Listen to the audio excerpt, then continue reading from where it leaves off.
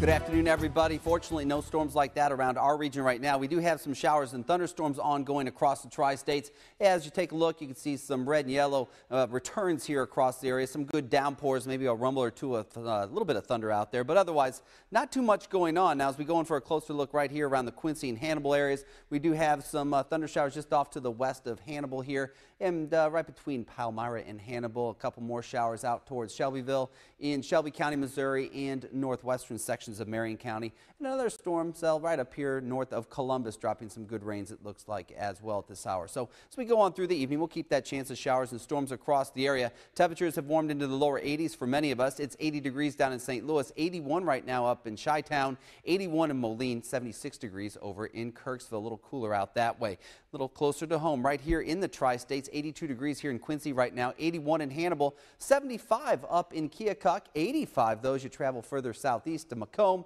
and 78 down in Pittsfield. So a little bit of a uh, a wide range there of temperatures across the region, but we will see temperatures fall back into the 60s later on tonight. Currently 82 degrees at the airport with a mostly sunny sky. The dew point up there, if it feels muggy out there, this is why 61 degrees indicates a humid air mass. The winds are light and variable right now across the region. So temperatures generally in the 60s, 70s, and 80s, depends on where you are. Further to the south, they've had some rain and clouds down towards Springfield where it's 65 degrees. We can see those clouds showing up here on the satellite imagery from St. Louis running south into the Ozarks. In our own neck of the woods here, some clouds, some pop-up showers and thunderstorms here. We do have a frontal boundary across the northern part of the area that is continuing to wave back and forth, and as it does so, get a little bit of activity with some showers and thunderstorms across the area, and we will continue to see that chance of some scattered showers and thunderstorms as we head on in later on to tomorrow night, it does appear. So as we head on through the next 24 hours, just a slight chance of a shower or thunderstorm here or there. Eventually, we'll see temperatures fall back to around 62, uh, 62 degrees, that is, by tomorrow morning.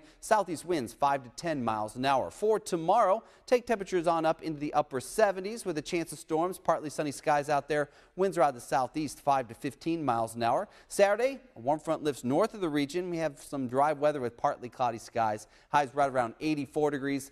Some sunshine and some clouds and some warm temperatures with storms around on Sunday, highs around 88. And then later on Monday, we're going to take a look at conditions that will be, well, potentially a little bit on the um, destructive side across our region. Some severe weather potential in the Midwest on Sunday night into Monday and uh, we'll see what that means locally for us here in the tri-states. But nonetheless, Monday will be one of those days you want to keep your eyes peeled for uh, any weather watches or warnings as we head through Monday. Temperatures in the 80s again, 82 on Tuesday, Stephen, with a chance of showers and storms before we dry out for Wednesday and Thursday next week. So really, it's Monday is the day we really need to watch for. Sunday it could be moving, making its way in, but Monday is the day we need to be really. L later Sunday into Monday, later okay. Sunday into Monday, because that front's going to come from the west, so our western viewing counties will want to pay attention then on Sunday too. Sounds good. Mm -hmm.